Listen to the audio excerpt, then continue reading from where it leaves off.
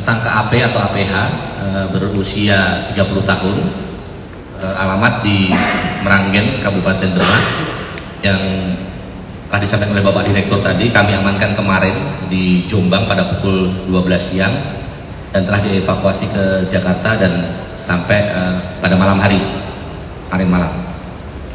Pada saat penangkapan kami telah mengamankan beberapa barang bukti dari yang bersangkutan. Yang pertama satu buah handphone merek Xiaomi Poco M4 yang memang digunakan oleh tersangka dalam melakukan uh, perbuatannya.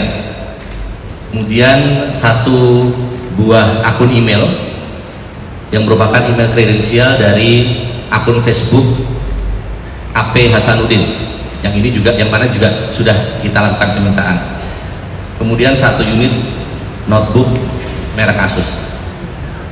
Terkait dengan persangkaan pasal saat ini tersangka kami kenakan dengan pasal 45 A ayat 2 junto pasal 28 ayat 2 Undang-Undang ITE dengan ancaman pidana penjara paling lama 6 tahun dan denda paling banyak 1 miliar rupiah.